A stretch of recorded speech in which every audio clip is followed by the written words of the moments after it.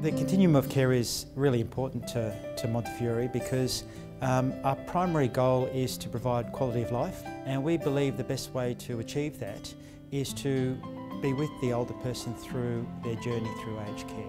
Um, and that includes providing them um, socialisation uh, and support through our day centres, uh, providing them with, uh, with access to clinical and adult health services whilst they're still living in their own home, um, respite care uh, for people on a short-term basis,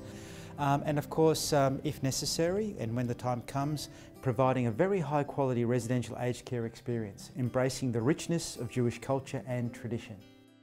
Within those service offerings, we provide um, clinical and extensive allied health services, um, far greater than what a lot of other organisations do provide uh, to their clients. And we think that's very important because quality of life is far greater than just providing good clinical services. Um, it's really about ensuring that a person um, is as well as they possibly can be. As well as providing support at each individual point, um, we find that being the one service provider provides a number of other benefits and I'll, I'll give you an example.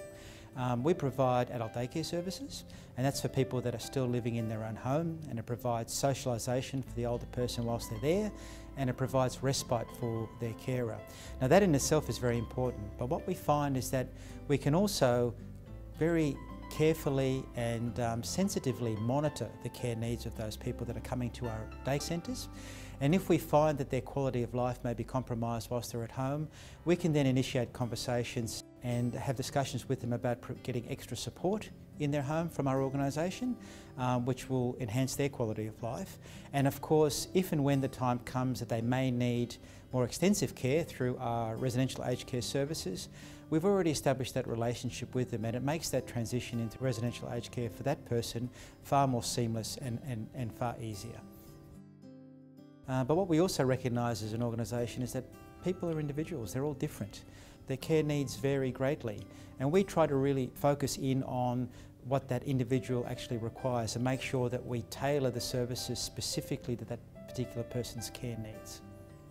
But also as individuals, we need to make sure we recognise their particular desires, wants and likes so that we can be responsive to that as well. We have found that there was a gap in what we were providing and that was in terms of seniors living apartments or independent living units as they're also known. The apartments are primarily for couples um, who may not be ready for residential aged care but who would benefit from having the ability to access services that are available on site. So being able to provide uh, a range of services uh, that can support a person through the continuum of care is extremely important to us and making sure that at each entry point we're providing the best quality service that we can is important. That really supports our, our goals and initiatives as a, as a benevolent and charitable organisation.